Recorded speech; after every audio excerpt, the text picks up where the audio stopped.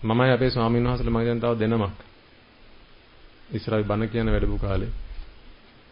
එක පන්සලක ගිහිල්ලා මම දැන් සති භාගයකට කිට්ටු වෙන කාලේ එදී නැවතුණා ධර්ම දේශනා කරන්න. අපිට පින්ඩපාතේ වඩින අවස්ථාව සැලසුණා. මම හිතන්නේ මම පැවිදුණත් හරි ගමට ගිහිල්ලා පින්ඩපාතේ වැඩිලා ඇති සමහර දහවතාවක් විතර. මට තව වඩින්න ඕනේ. නමුත් මේ ගම්වල පින්ඩපාතේ වඩින්න ටිකක් තාම අපහසුයිනේ. ඒකට අවශ්‍ය කරන පරිසරය හැදිලා නැහැ. මම අපේ හාමුදුරනේ මතක් කළේ අපේ හාමුදුරනේ වහන්සේ චීවරයට ආදරය කරන්න කියලා. මේ පැවිද්දට ආදරය කරන්න කියලා. මොකද මේ ජීවිතයේ අත්දැකීම පිළිගන්නේ මහා පුදුමාකාර අත්දැකීමක්.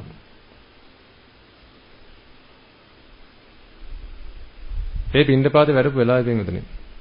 අපේ වොස්සක ධම්ම හාමුදුරන් වහන්සේ එක පැත්තකට වැඩියා මම අනිත් පැත්තට වැඩියා. ඒ කියන්නේ පන්සලේ දොරෙන් එළියට ඇවිල්ලා ගේට්ටුවෙන් එළියට ඇවිල්ලා ඔබ වහන්සේ මේ පැත්තෙන් වඩින් මම මේ පැත්තෙන් වඩින්. ඉස්සෙල්ලා මම ගිහිල්ලා පිටින් නැවතුනේ ඉස්කෝලයක් ගාව. ඒක ප්‍රාථමික විදුහලක්. ඉතින් මට පේනවා එළිය දරුවෝ ඇසැම්බලි එකේ.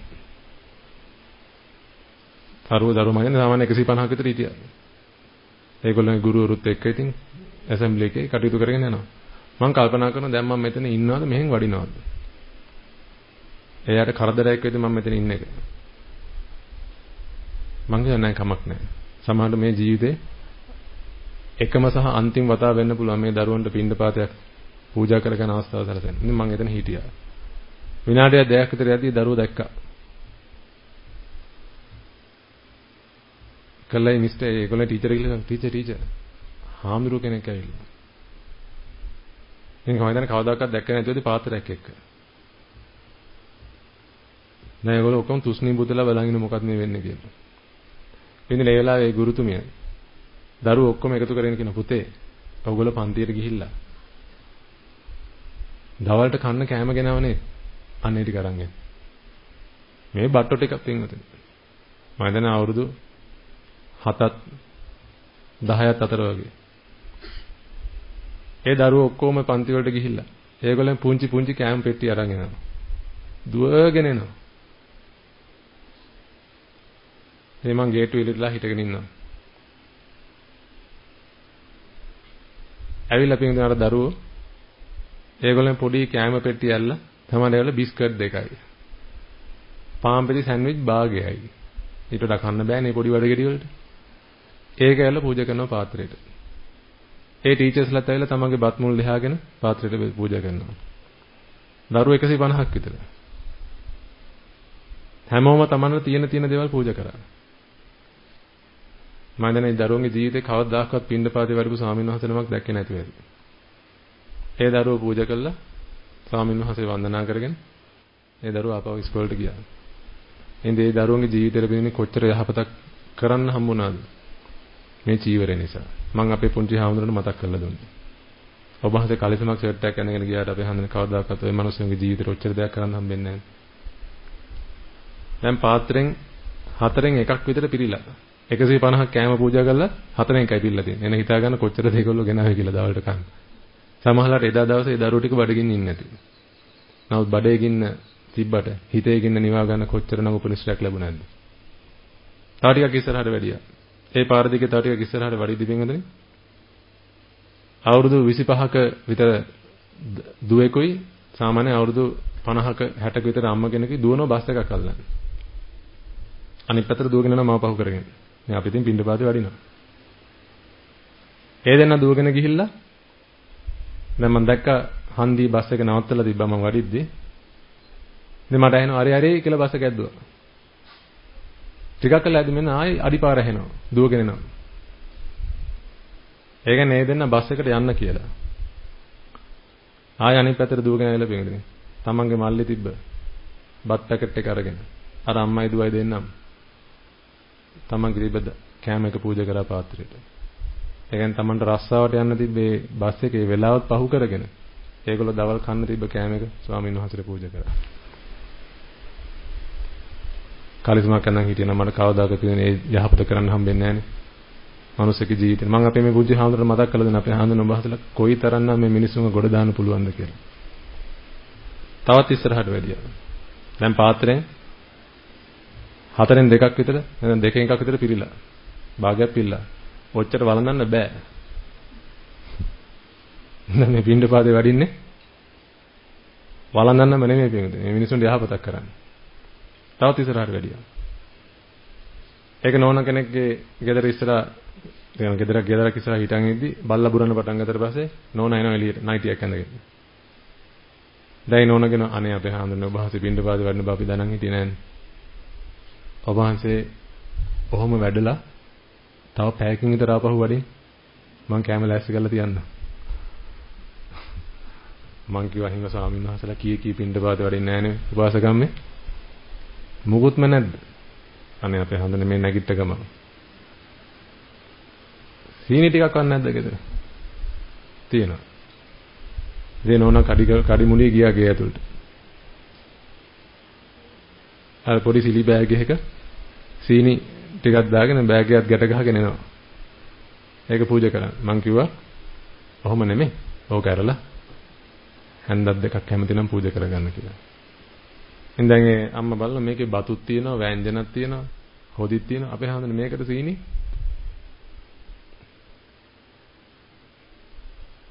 සමහරවල් පිටින් මේ මිනිස්සයාට කවදාකවත් දැකලා නැතුව ඇති. සීනි බතුයි එකට කන්න පුළුවන් මිනිස්සු. සීනි පානුයි එකට කන්න පුළුවන් මිනිස්සු කවදාකවත් ජීවිතේ දැකලා නැතුව ඇති. මගේ විශේෂත්වයක් ගැන නෙමෙයි මම මේ කියන්නේ. ශාසනයේ තියෙන වැදගත්කම් වෙනුවට. එදා මට පුළුවන් වුණා අපිට මේ තථාගත ශාසනයේ ඇත්තයි කියලා ජීවමාන සාක්ෂියක් වෙන්න. මොකද රස හොයන මිනිස්සු අතර පින්වතුනි රස හොයන්නේ නැති මිනිස්සුත් ඉන්නවා කියලා. ඒක නඩ පෙන්නලා දෙන්න. රසය පිණිස නෙමෙයි ආහාරය ගන්න කියලා ඒක නඩ පෙන්නලා දෙන්න. ආයත් මම කියන්නේ මගේ ගුණයක් කියනවා එහෙම නෙමෙයි. මේ ශාසනය පින්දින අපි ලබාගත පිළිසන. ඔබ පින්ඩපාතේ වැඩියත් ඔබටත් ඔය ටික කරන්න පුළුවන් මන් දන්නවා. දේනෝන ඒක පූජා කරන්න. ඊට සොහොමම වැඩියම දැන් පාත්‍රේ පිරෙන්නම ආහාර. ඔබ දන්නවනේ මෙතන පාත්‍රයට භාගයක් පිරුවත් ඒත් කැම ඉතුරු වෙනවනේ. ඒ වළඳන්න පුළුවන් කම කර නෙමෙයි. මිනිස්සුන්ට යහපතක් කරගන්න. මේ අනිත් පැත්තට එද්දි පින්වතුනි.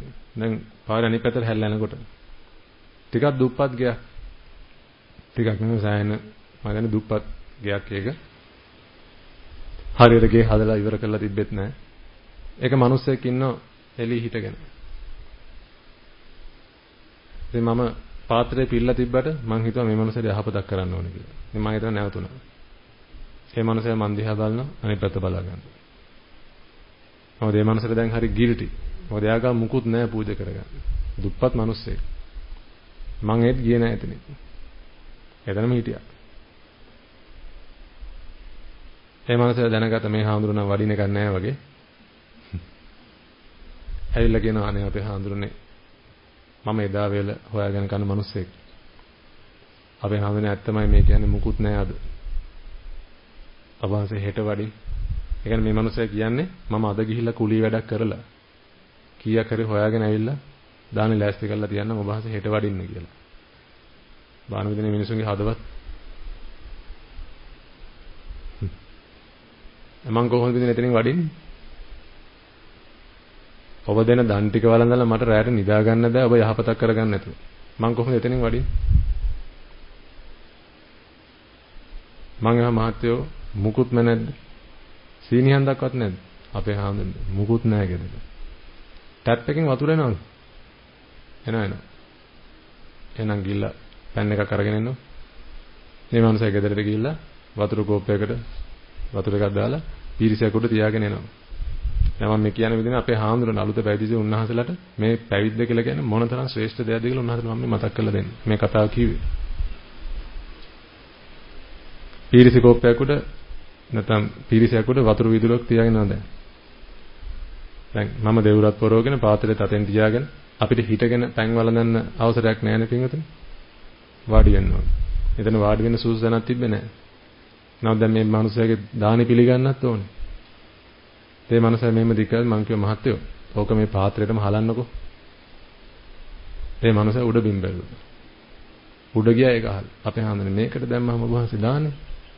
මහත්තයෝ ඉතින් දෙකම එකටනේ යන්නේ. එක තැනටනේ යන්නේ.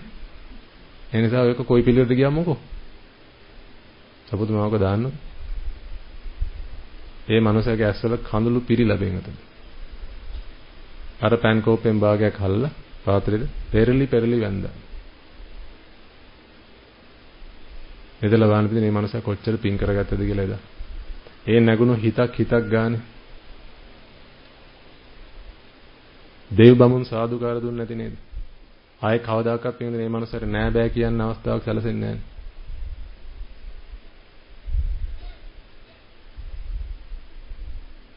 ඔන්න ඔබින්දනේ මගේ පැවිදි ජීවිතේ උත්කෘෂ්ඨ අවස්ථා. ධර්ම දේශනාව කරනව හැරෙනකොට මිනිස්සුන්ව ගොඩ දාන්න පුදුම අවස්ථාවක් මේ හම්බෙලා තියෙන පින්වතුනි. මම පුදුම සතුටු වෙනවා මගේ මේ පැවිද්ද ගැන. මම මේ චීවරයට හරි ආදරේ පින්වතුනි.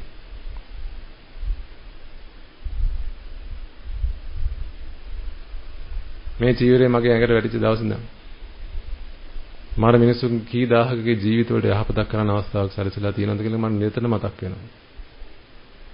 තථාගතයන් වහන්සේ දේශනා කළා තියෙනවා පරිපටි පරපටිබද්දා මේ ජීවිකාති පබ්බජිතේ නබින්හම් පච්චවේ කිතබ්බන් කියලා පැවිද්දා විසින් නිතර සිහිපත් කර යුතුයි. අනික් අයට කොහොමද මේ පැවිද්දා විසින් යහපතක් කරන්න පුළුවන් කියලා. මම අපි පොඩි හාමුදුරන් වහන්සේලා මතක් කළ දෙන අපේ හාමුදුරනේ බලන්න ඔබ වහන්සේලා අවුරුදු 15 මේ උත්තරීතර ශාසනයට ආවේ. මට ওই අවස්ථාව හම්බෙන්න අවුරුදු 28ක් බලන් ඉන්න උනා. මම උන්වහන්සේලාට කිව්වා අපේ හන්දනේ ඔබ වහන්සේලා පිරිනිවන් පාන්න ඉන්නේ නැත්නම් අපවත් වෙන්නේ අවුරුදු 80 වෙනම්. මම කිව්වා අපේ හන්දනේ ඔබ වහන්සේ අදිෂ්ඨාන කරන් තව අවුරුදු 5කින් ඔබ වහන්සේ වැඩේ කළ ඉවර කරගන්නවා කියලා. අද 15 අවුරුදු 20 දී ඔබ වහන්සේ අරිහත්ත්වයට සාක්ෂාත් කරගන්න අපේ හන්දනේ ඊට පස්සේ අවුරුදු 60ක් ඔබ වහන්සේට යන යන ගමක් ගමක් ගානේ මිනිස්සු ගොඩ යනව බලන් ඉද්දී බෙදෙනපත් හැන්දක් හැන්දක් ගානේ මිනිස්සු දිව්‍ය විමම් පිටු විමම් මවා ගනී පින්වතුනි. අර එදා මට පින්ඩපාතේ පූජා කරපු අයට සමහරට බණ පදයක් අහන්න නොලැබුණත් පින්වතුනි මේ ජීවිත කාලය තුල. ඔය කරපු දේ මතක් කරලා ආවනම් මැරෙන මොහොතේ. තව කල්ප කෝටිකරත් පින්වතුනි සතර පායට එන්නේ නැහැ. ඒ කාන්තේම පින්වතුනි සුගතික උප්පත්තිය ලැබයි. ඒ කාන්තෙම පිටින් බණපදයක් අහගන්න.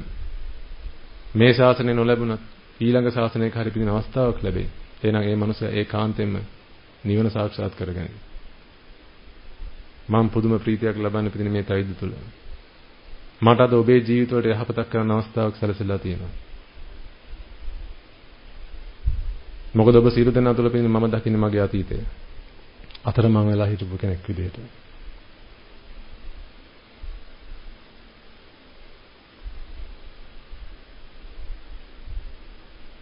විභාගාතේ මේ සසරේ අතරමං වෙච්ච කෙනෙක් විදිහට මම මට පේන්නේ පින්දිනේ මගේ අතීතේ.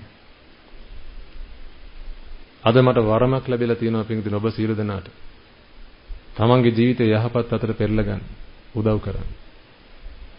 එහෙනම් මේ සාරින සාමින් වහන්සේ ලොයි පින්දපාතේ හැන්දක් බෙදනවා කියලා කියන්නේ දිනේ ලේසි වාසු දෙයක් නෙමෙයි.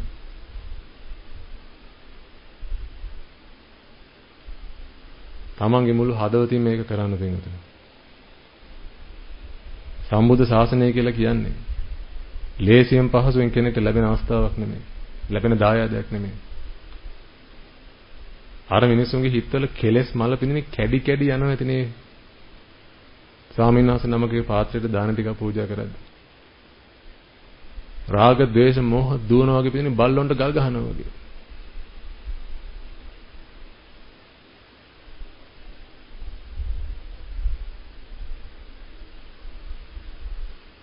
ඔබේ ලේ උරුමය පින්විතනේ මේ සම්බුද්ධ ශාසනය. ඔබේ ලේ උරුමය.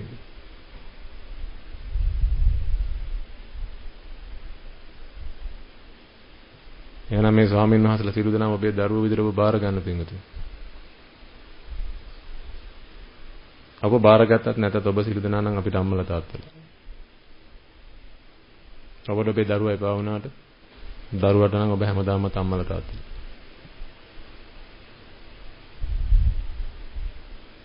අපි හැමෝටම ගොඩ යන්න තියෙන තැන පිටුතර මේක. ඒක දන් හැන්දක් පූජා කරලා වෙන්න පුළුවන්. වැසිකිළියක් හොදලා වෙන්න පුළුවන්. මලක් පහනක් පත්තු කරලා පූජා කරලා වෙන්න පුළුවන්. කරන හැම පිනක්ම පින්නේ තමන්ගේ නිවනටම උපනිශ්‍රය කරගන්න.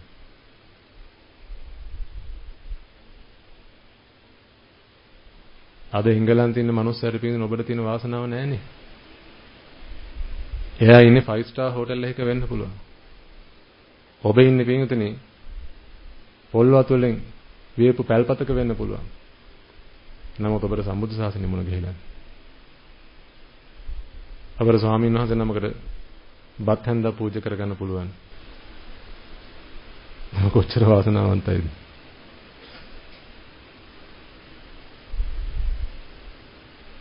එනිසා මම මේ චීවරයට හරි ආදරේ. මේ පැවිදිර මං හරි ආදරේ.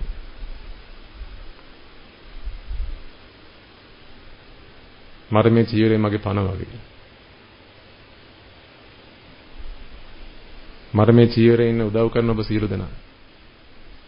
ත මගේ හිතේ තියෙන කෙලෙහි ගුණ මගේ හිතේ තියෙන ගෞරවය අප්‍රමාණයි. මට මග වඩා ගන්න මගේ බඩගින නිවනේ ඔබ.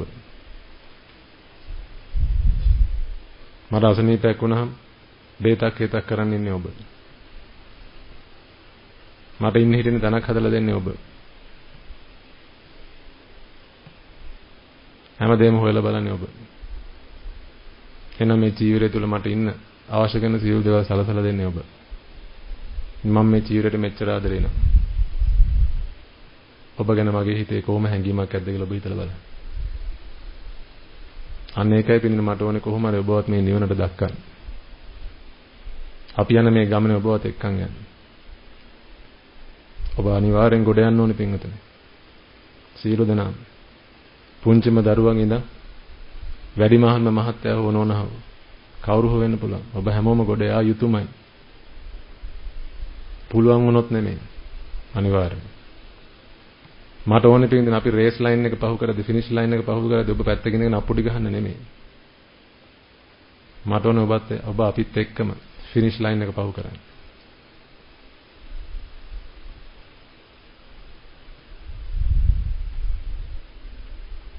සමහරවිට අපි කියන දේවල් වලින් ඔබේ හිත පොඩ්ඩක් රිදෙන්න පුළුවන්. හැබැයි හිත රිදන්න කියනවා නෙමෙයි. සමහරකට ලැජ්ජ හිතෙන්න පුළුවන්. ඔබ ගාව තියෙන කෙලෙස් මතු කරලා පෙන්නද්දි. ඔබ ගාව තියෙන රාග කුණු, ද්වේෂ කුණු, මෝහ කුණු අවස අවස පෙන්නද්දි. ඒ කුණු ගඳ ඔබට දැනෙද්දි ලැජ්ජ හිතෙන්න පුළුවන්. මදි පුංචිකමක් දැනෙන්න පුළුවන්. නමුත් ඒ කරන්නේ ඔබට වැඩක් කරන්න නෙමෙයි පින්වත. ඔබේ හිත රිද්දන්න නෙමෙයි. ඔබේ හිත පාරවන්න නෙමෙයි. ඔබ නිවනට දක්කන්න.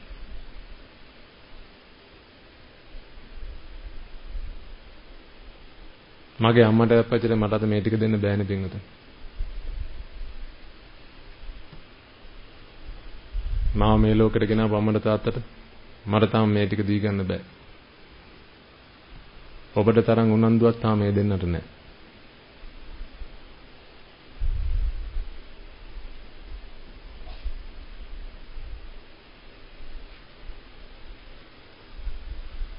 නමුත් අද ඒ දෙන්නයි ඔයගොල්ලෝ අතර මට ලොකු වෙනසක් පේන්නේ නැහැ. ඒ නිසා ඒ දෙන්නට කරනවා කියලා මං හිතාගෙන මම ඔබට යහවත කරනවා. මෙතන ඉන්න හැම කාන්තාවකටම මගේ අම්මට කියලා මං හිතාගෙන මම මේ ධර්මාසනේ වාඩි බණ කියන්නේ. මෙතන ඉන්න හැම මහත්යෙක්ටම මාව මේ ලෝකෙට ජාතක කරපු මගේ අප්පච්චි කියලා හිතාගෙනයි මම මේ ආසනේ වාඩි වෙන ඔබට බණ කියන්නේ. ඇත්ත කතාවත් ඒක සසර කී පාරක් ඔබ මට කීපෙව්වද? සසර කී පාරක් ඔබ මං වෙනුවෙන් ලේ දහඩි කඳුළු හෙළුවද? නමුත් අද කතාවත් ඒකම තමයි. එනිසා ඔබ ඒකාන්තයෙන්ම පින්දින ගොඩ යා යුතුමයි. ඔබ මග දාලා යන්න නෙමෙයි අපිට ඕනේ පින්වතුනි. ඔබවත් එක්කන් යන්න. අපි පින්නපාත වැඩනකන් මේ මිනිස්සු බලන් ඉන්නවා. නමුත් මෙතන ඔබේ ගෙදරට අපි ඇවිල්ලා ඉන්නවා. එහෙනම් මේ ස්වාමීන් වහන්සේලා සියලු දෙනාම පින්දුනේ ඔබේ දරුවෝ ලෙස ඔබ බාර ගන්න. ඔබේ දරුවන්ට වගේ ඔබ බලා ගන්න. රැක ගන්න. මේ මහා සංඝරත්නය. අපිට ත්‍රිවිධ රත්නේ සරණ හැන වෙන සරණක් නැහැ. ඒ වගේම ඔබේ පිහිට හැරෙන්න වෙන පිහිටක් නැහැ.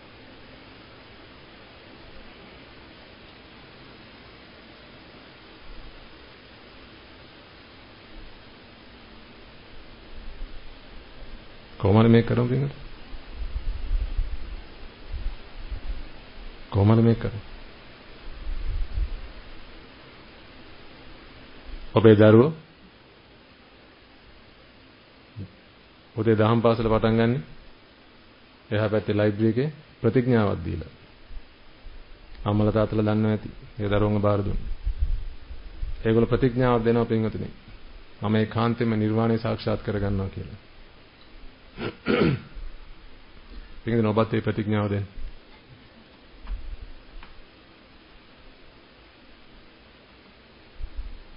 මේක අපි පුළුවන් වුණොත් නෙමෙයි අනිවාර්යෙන් කරමු.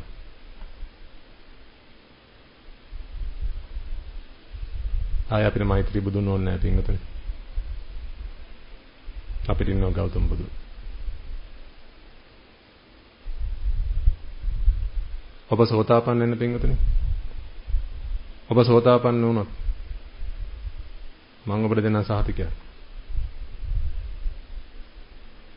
නොකඩෙන සහතිකයක් දෙන්න.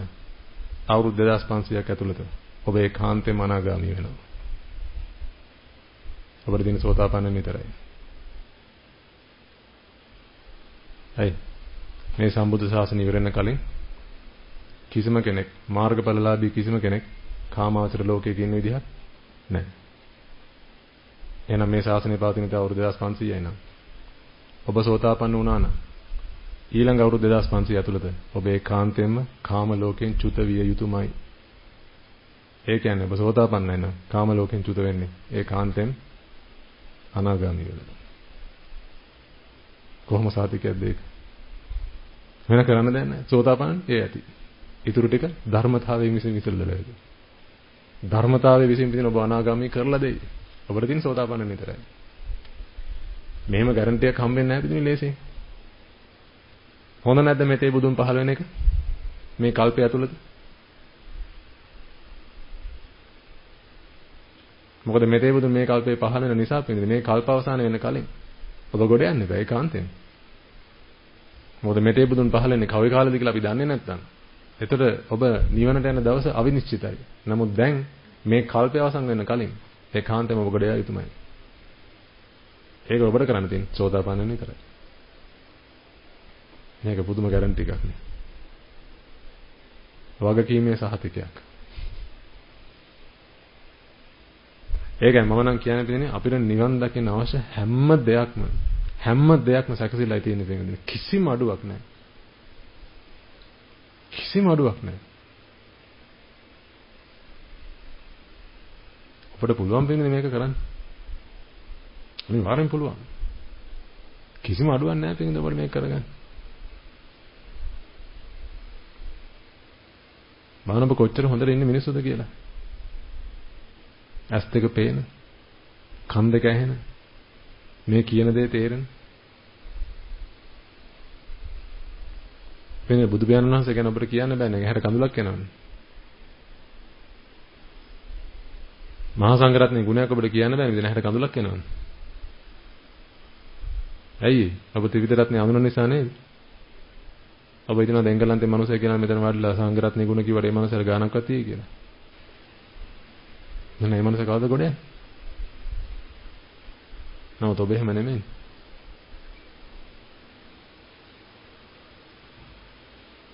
ඔබට අවශ්‍ය කරන හැම දෙයක්ම ලැබිලා තියෙන පින්වතුනි නිවන් දකින දහම තියෙනවා.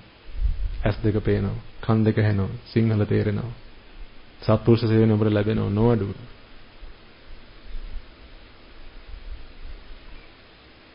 අවශ්‍ය කරන හැම දෙයක්ම කිසිම අඩුවක් නැතුව ඔබ සියලු දෙනා ළඟට ලැබිලා තියෙනවා. ප්‍රමාදයෙන් තියෙන අපි ගාව විතරයි. අපි අය අඩුපාඩු හදාගමු. අප්‍රමාදී වෙමු. එන හැම විපාකයක් තුලින්ම පිළිඳින විදර්ශනාව කරගමු. කර්මස්ථාන හොය හොයන්න දෙයක් නැහැ. කර්මස්ථානය ඔබ ළඟ. ඒකයි ගුරුවරයා නැත්නම් ශිෂ්‍යයා සූදානම් වෙනකොට පිළිඳින ගුරුවරයා මතුවෙනවා. ඒ කියන්නේ ඔබ මේ මොහොතේ නිවන් දකින්න සූදානම් නම් මේ මොහොතේ ආපු විපාකයේ තියෙන ඒක තමයි ඔබට නිවන් දකින්න ගුරුවරයා. එහෙනම් හෙට නෙමෙයි නිවන් දකින්න තියෙන්නේ. දැන්. ලබන සතිය නෙමෙයි නිවන් දකින්න තියෙන්නේ. සතිය භාවනාවට සටහනකට ඇවිල්ලා නෙමෙයි තියෙන්නේ නිවන් දකින්න තියෙන්නේ. දැන්. මේ දැන්.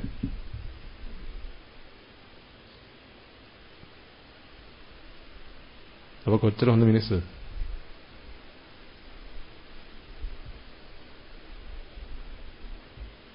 රාගයේ, ද්වේෂයේ, මෝහයේ දෝෂ පෙන්වලා දෙනවා තමයි අපි.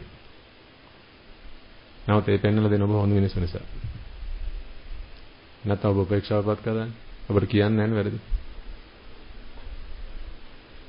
ඒ වැරදි පෙන්වලා දෙන විදිහ ඔබට වැරදි හදාගන්න පුළුවන් නිසායි. මම ඔබට කොච්චර මගේ වැරදි කියනවද මෙතන වාඩිලා? මොකද මම උත්සාහ කරනවා පින්දිනේ ඔබ ගාව තියෙන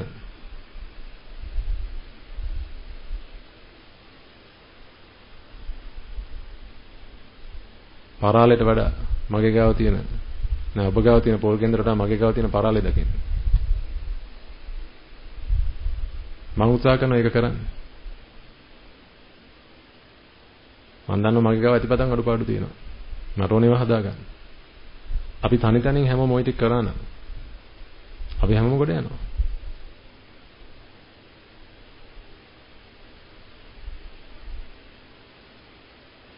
ඔබ හරි වාසනාවන්තයි. ඔබ හරි පින්වන්තයි.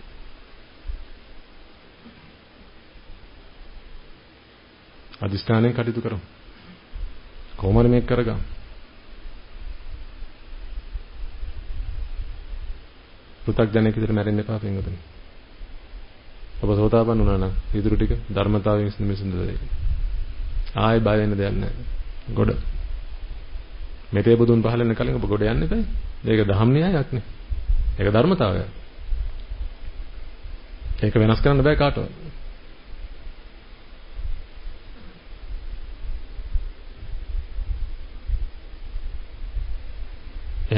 එහෙනම් මෙතන වාඩිලා ඔබේ දෝෂයක් පෙන්වලා දුන්නත් ඔබත් එක්ක තියෙන අමනාමයකට නෙමෙයි පිළිදෙනේ කතා කරන්නේ. ඔබට තියෙන ලෙන්ගතුකම නිසාමයි මේ කතා කරන්නේ. අද මගේ අම්මයි තාත්තයි නැහැ මෙහෙම වාඩි වෙලා මේ ටික කියලා දෙන්න. නේද ඔබ ඉන්න? එන්සම ඔබට කියනවා. හැම වෙලාවෙම දකින්න පිටින් මේ හිතේ ඇති වෙන ඕමනාව තමයි ප්‍රශ්නේ කියලා. ඔන්න ඕක දැක ගන්න ඔබ දක්ෂ වුණා නම් පිටින් ඔබ ගොඩාක් දුර ගිහිල්ලා. මොකද ඔබ දන්නවා මේ අපි බොහෝ කාලයක් ජීවත් වුණේ වැරදි ප්‍රශ්නෙට උත්තරේ හොයන්න ගිහිල්ලා. එතනනේ අඩුපාඩු තිබ්බේ. එච්චරයි තිබ්බේ ප්‍රශ්නේ. වැරදි ප්‍රශ්නෙට උත්තරේ හොයන්න ගියේ. හරි ප්‍රශ්නේ හොයාගත්තා නම් එතනින්ම ඔබ ගොඩ යනවා පින්වතුනි. සෝතාපන්න ඵලයි කියලා කියන්නේ ඒක. හරි ප්‍රශ්නේ තේරුම් ගන්න. මොකද එතනින් පස්සේ ඔබ දන්නවා වැරදි ප්‍රශ්නෙට උත්තර හොයලා වැඩක් නැහැ කියලා.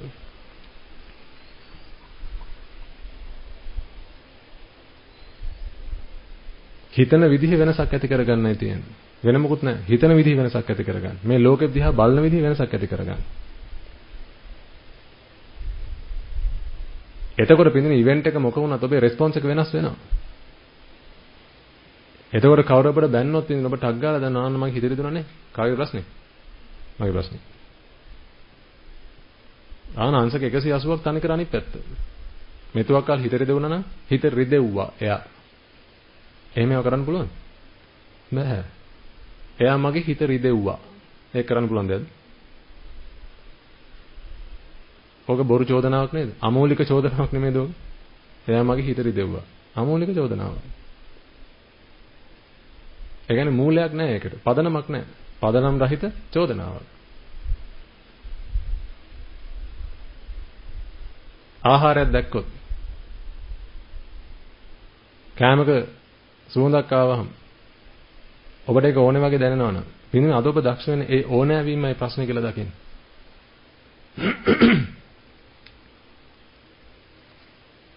ආ කෑම ගැන කතා කරද්දි මට මේ ළඟදී කාරණාවක් ආව සිහිපත් වෙලා. කොහෙන් කොහෙන් මේ ඇදිලෙනවද දන්නේ නැහැ කොහෙන් හරි ඇදලෙනවා ඔබටත් කියලා දානවා.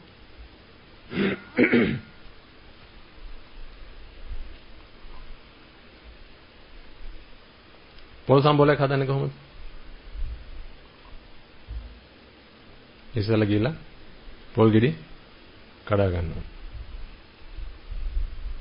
පොල් ගෙඩි කඩා ගත්තට පස්සේ පොල් ලෙලි අර ගන්න ඕන. මට ඔබ කියන්න ලෙල්ල තියෙන පොල් ගෙඩියද ගණන් වැඩි? ලෙල්ල හැරපු පොල් ගෙඩියද ගණන් වැඩි? කොහේකද ගණන් වැඩි? ලෙලි හැරපු එක. ඊට පස්සේ පොල් ගෙඩිය බිඳින්න ඕන. ඊට පස්සේ පොල් ගෙඩිය ගාන්න ඕන. එතකොට ඔබට වෙළඳ පොලෙන් පොල් ගෙඩි ගන්නත් පුළුවන්. ගාපු පොල් ගන්නත් පුළුවන් නේද? ඔය දෙකෙන් ඒකක මිල ගටනාකම් වැඩි කීයද? මොකේද? ගාපු පොල් ගෙඩි. ඊට පස්සේ ඒ ගාපු පොල් ටික අරගෙන දැන් මේ පොල් සම්බෝලයක් හදන්නයි යන්නේ. ඒකට අවශ්‍ය කරන කුළු බඩු ටික සූදානම් කරගන්නවා. මිරිස් කුරු ටික, දෙහි ඇඹුල් ටික, ලුණු ටික, නේද? ගම් මිරිස් ටිකක්, කොච්චි ඒ මොන හරි අවශ්‍ය ටික සූදානම් කරගන්න. ඉතින් ඒ ටික කපලා කොටලා දාලා අරකට එක්ක අඹරලා කහ කුරු ටිකක් එහෙම දාලා හොඳට මික්ස් කරගන්නවා. මට ඔබ කියන්නේ ගාපු පොල් ටිකේද වටිනාකම වැඩි නැත්නම් දැන් හදාගත්ත පොල් සම්බෝලේද වටිනාකම වැඩි? හ්ම්? පොල් සම්බෝලේ. ඔබට පේනවද පිටින් දැන් ගහේ තිබ්බ පොල් ගෙඩියේ ඉඳන් පොල් සම්බෝලේ දක්වා එද්දී වටිනාකම පොඩ පොඩ අඩු වුණාද වැඩි වුණාද? වැඩි වුණා. එහෙනම් මේ ක්‍රියාවලිය තුළ මේ ක්‍රියාදාමය තුළ පියවරෙන් පියවර පියවරෙන් පියවර වටිනාකම් වැඩි වෙච්ච එක නේද මේ උනේ? එතකොට පොල් සම්බෝලේ හැදුනට පස්සේ ඕක නේද පින්දුනේ වැඩිම වටිනාකමක් තියෙන දේ මේ දැන් මේ ඔබ ගාගත පොල් ටිකෙන් කරගන්න පුළුවන්. වැඩිම වටිනාකමට දැන් මේ ඇවිල්ලායි තියෙන්නේ. තව කෙනෙක් කන්න අත දාපු පොල් සම්බෝල ටිකක් සාමාන්‍යයෙන් තව මිනිස්සෙක් ගන්නෑ නේද? ඔබ නම් ගනි. සමහර විට ඔබ ගනි. මොකද ඔබ මග වඩාගෙන ඉන්න පිරිසක් විදියට. නමුත් සාමාන්‍යයෙන් තව කෙනෙක් අල්ලපු කෑමක් තව කෙනෙක් ගන්නෑ නේද? දැන් පොල් සම්බෝලෙත් හදලා තියෙන්නේ. ඔබ ගෙදර පොල් සම්බෝලේ හදාගත්ත ගාන ගානද වැඩි නැත්නම් හෝටලෙට ගියාවොත් පොල් සම්බෝලෙට ගාන දෙනවන ගාන වැඩිද? හෝටලෙන් ගාන වැඩි. මොකද ඒක ලස්සනට පිඟානක තියලා ඒ කියන්නේ ඒක ප්‍රසන්ට් කරන්න ඕනේ ලස්සනට. අපිට කන්න පුළුවන් විදිහට ඒක පිළිගන්නවන්න ඕනේ. ඒ හැම දෙයකටම ගාන වැඩි වීගෙන වැඩි වීගෙන වැඩි වීගෙන ඇවිල්ලා තියෙනවා.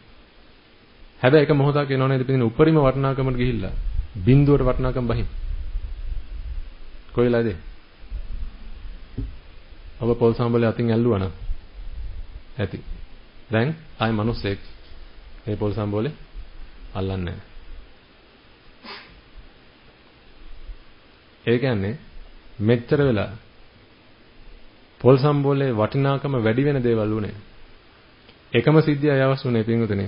උපරිම පොල් සම්බෝලි උපරිම වටිනාකම තිබ්බේ පොල් සම්බෝලේ බිඳුවට බස්සන්න. ඒ තමයි ඔබ නැමැති පුද්ගලයා ඒ පොල් සම්බෝලේ අතින් අල්ලන්නේ.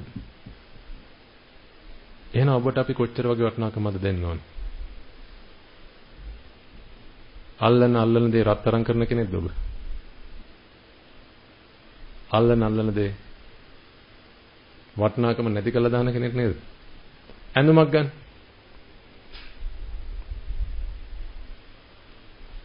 කඩේට ඇඳුම එන්න. අදියට ගණනාවකින් නේද ඔය ක්‍රියාදාමය වුනේ. ඉස්සෙල්ලා පුළුම්. ඇටේ පැල කරා ගහව ඊට පස්සේ එකෙන් පුළුම් ගත්තා. මේකේ කපු නූල් හදාගත්තා. හ්ම් ඊට පස්සේ ඒ නූල් අරගෙන ඒවා ඩයි කරා. නැත්නම් රෙද්දක් මොයා මහගත්තා ඒක ඩයි කරා ඊට පස්සේ ඒක කෑල්ල පිළිවෙලට කැපුවා. බොත්තම් ඇල්ලුවා. ඊට පස්සේ ඒක හැඩ වැඩ දැම්මා එම්බ්‍රොයිඩර් කරා ආදි වශයෙන් කරන්න ඕන හැමදේම කළා දැන් කඩේට අවිල්ලා තියෙනවා. අර ගහේ වැටි වැවිච්ච නැත්නම් පැලේ තිබ්බ පුළුන් ඉඳන් මේ මොහොත දක්වා ආපු ගමන තුල මේකේ වටිනාකම අඩු වුණාද වැඩි වුණාද? වැඩි වුණා. හැම ආදියරකෙම වටිනාකම වැඩි වුණා. වටිනාකම වැඩි වෙලා වැඩි වෙලා වැඩි වෙලා වැඩි වෙලා ඇවිල්ලා පින්ගතනේ. ඔබේ ඇඟට ඔය ෂර්ට් එක දැම්ම ගමන්. දැන් මොකද වටිනාකම? නැහැ. ගයක් ගයක් හදනවා. ෆවුන්ඩේෂන් එක කැපුවා. සිමෙන්ති බැන්දා. හ්ම් ගඩොල් බැන්දා. ගේ හැදුවා තාප්ප බැන්දා. වහල ගැහුවා. තීන්ත ගෑව. ඒ ඔක්කොම කළා. මම දැන් බ්‍රෑන්ඩ් නිව් ගෙදර. මට කියන්න ඔය ගෙදර වටිනාකම නැති කරන්න කරන්න ඕන එකම දෙකද? ඔව් පදිංචියට. මෙච්චර වෙලා කරපු හැම දෙයකින්ම වටිනාකම වැඩි වුණා. ඔබ ඇල්ලුවා විතරයි. වටිනාකම පල්ලෙහාට බහින් පටන් ගත්තා. එහෙනම් මේ කයට අපි කොයි වගේ වටිනාකමද දෙන්න ඕනේ? අල්ල නල්ල දේ රත්තරන් කරනවද? අල්ල නල්ලන් දේ ගූ කරන දානවද? තනි කරම පින්විතනි අල්ලන දේ වටිනාකම නැති කරන දෙයක් තමයි මේ කය කියලා කියන්නේ. කෑමක් ගත්තත් එහෙමයි, ඇඳුමක් ගත්තත් එහෙමයි, ගෙයක් ගත්තත් එහෙමයි.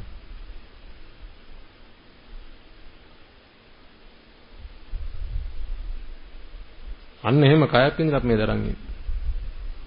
අල්ලන අල්ලන්නේ වටිනාකම නැති කරලා දාන්න.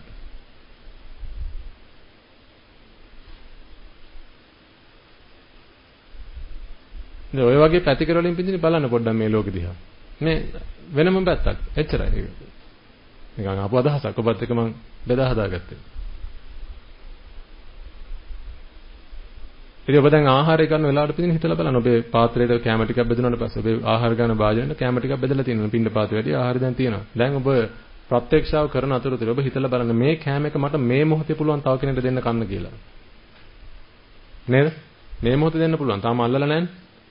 ඇල්ලුවොත් දැන් තව කෙනෙකුට දෙන්න බෑනේ. වැඩි මොනොත් බල්ලෙක්ට දෙන්න පුළුවන්. බල්ලෙක් ගන්න නමුත් තව මිනිස්සෙක් ගන්න නැහැ. බුද්ධ පූජාවක්වත් තියන්න බෑනේ. එතනින් පස්සේ ඔබ ඇල්ලුවට පස්සේ දෙවියෙක්ටවත් පිළිගන්න බෑ. ගන්න නැහැ.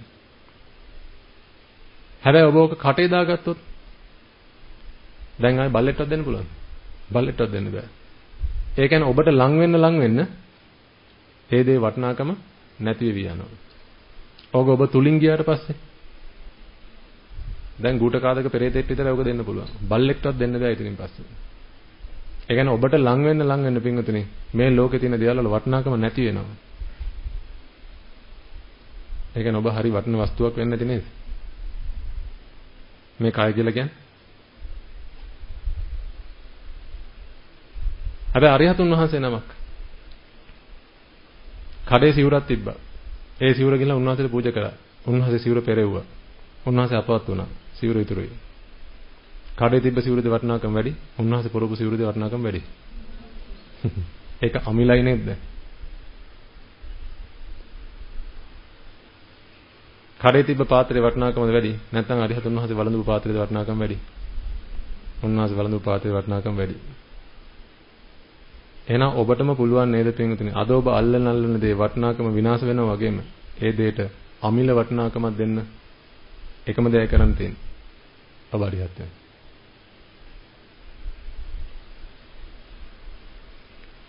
මේ අපේ පුංචි හාමුදුරන් වහන්සේලා ගිහි ගෙදර හිටියානම් මැල්ල ගියාට පස්සේ ඔය කෝපෙල මොකද කරන්නේ වැඩි වුණා නේ ගෙදර ඔහි තියන් ඉදි එක પરම්පරාවක් තියන් ඉදි මේ අපේ තාත්තා කාපු පිඟාන ඊට පස්සේ ඊළඟ පර මේ අපේ සීයා කාපු පිඟාන ඊළඟ පර සීයා කියන්නේ කවුද? නේද ඒක කොහෙද විසි කරලා ඔයාලා වැටෙනවා කාගේ හරි අතින් ඉවරයි ඒක එච්චරයි. නමුත් අරිහතුන් වහන්සේලාගේ ධාතු. උන්වහන්සේලා පාවිච්චි කරපු දේවල්. අද චෛත්‍ය හදලා ඒවල නිධාන් කළා. වෙනදිනේ කෝටි ගණන් මිනිසු කියලා වඳිනවා. පුද පූජා පවත්වනවා. එහෙනම් බලන්න මේ හාමුදුරන් වහන්සේලා කාලිසමයි ෂර්ට් එක ඇඳගෙන මැල්ල ගියා නම් මොනතරම් අපරාධයක්ද? අද චීවර පොරවගෙන පිටින් උන්වහන්සේලා අරිහත් වෙන ගමනක යනවා. ඒ ගමන තුල පිටින් උන්වහන්සේලා අල්ලන අල්ලන දේවල් වටිනාකම වැඩි වෙනවා මිසක් අඩු වෙනව නෙමෙයි ඔබත් එහෙම කරගන්න එහෙනම් වස්තු වල විතරක් නෙමෙයි පිටින් ඔබ අල්ලන අල්ලන මිනිස්සයා. එහෙනම් ඔබේ ජීවිතේ ඔබට ළඟ වෙන හැම මිනිස්සයාගෙන් වටිනාකම වැඩි කරන්න උත්සාහ කරන්න. ඒ කියන්නේ ඔබ ඔබේ ස්වභාවය ඇති කරගන්න තියෙන ඔබ ගාවට මිනිස්සෙක් ආවොත් ඒ මිනිස්සයා යන්නේ. මිනිස්සෙක් නම් ආවේ යන්නේ දෙවියෙක්. කොහොමද ඒක? ඔබ ගාවට ආවේ මිනිස්සෙක් නම් අනිත් පැත්තට යන්නේ කවුද? දෙවියෙක්. ඔබ ගාවට ආවේ දෙවියෙක් නම් අනිත් පැත්තට යන්නේ කවුද? බ්‍රහ්මයෙක්. ඔබ ගාවට ආයි බ්‍රහ්මයෙක් නම් අනිත් පැත්තට යන්නේ සෝතාපන්නෙක්. කොහොමද ඒක?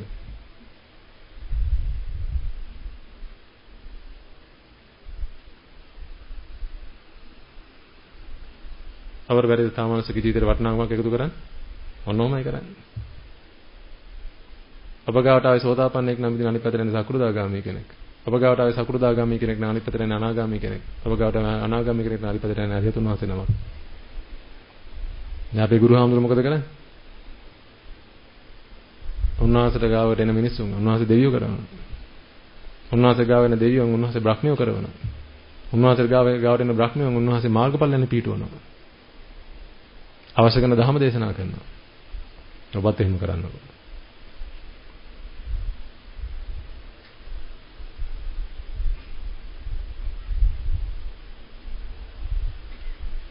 ඉතින් ඔබ හැමෝටම තියෙනවා ඒකට අවශ්‍ය කරන ශක්තිය. මිනිස්සෙක් කියලා කියන්නේ බෙදෙන්නේ ලේසි පහසු කෙනෙක් නෙමෙයි. පුදුම ශක්තියක් තියෙන මිනිස්සෙක් තුළ. මිනිස්සෙක්ගේ හිතක පුදුම ශක්තියක් තියෙන. අපි මේ ඔබට උගන්වන්නේ පින්වතුනි ඔබව ට්‍රේන් කරන්නේ අන්නේ තියෙන ශක්තියෙන් උපරිම ප්‍රයෝජනයක් ගන්න. නැත්තම් අපරාධේ. ඔබ හැමෝටම තියෙනවා පින්වතුනි ශක්තිය මේ ලෝකේ ගොඩ දාන්න. තනි තනියෙන් ඔබට පුළුවන් ඒක කරන්න. තනි මිනිස්සෙක් නෙමෙයිද බුදු වුනේ? ඉතින් මිනිස්සෙට බුදු වෙන්න පුළුවන් නම් අරිහතුන් වහන්සේ නමක් වෙනවා කියලා කියන්නේ කජ්ජක්ද? මිනිස්සෙට බුදු වෙන්න පුළුවන් නම් අරිහත් වෙනවා කියලා කියන්නේ මහලු ගඩක්ද? බුදුන් බුදුන් සහ අරිහතුන් වහන්සේ කියලා කියන්නේ අහසයි පොළොවේ වගේනේ. ලඟ වෙන්නත් බෑනේ. ඒ කියන්නේ ඔබ තුළ පුදුම පොටෙන්ෂල් එකක් තියෙනවා පින්වතුනි. අපි මේ උත්සාහ කරන අපට කියලා දෙන්න, අපට උදව් කරන අන්නේ පොටෙන්ෂල් එක එළියට ගන්න. ඒ හැකියාව එළියට ගන්න, ඒ ශක්තිය එළියට ගන්න. කළා තමන්ගේ ජීවිතේට අනිකගේ ජීවිතේට පුදුමාකාර විදිහට යහපතක් කරන්න ඔබ හැමෝටම පුළුවන් පින්වතුනි. එහෙනම් ඔබේ ජීවිතේට ලං වෙන කිසිම මිනිසෙක් පින්වතුනි අනිත් පැත්තට හරවලා යවන්න එපා. ඒ මිනිසගේ ජීවිතේට යහපතක් කරන්න නැතුව.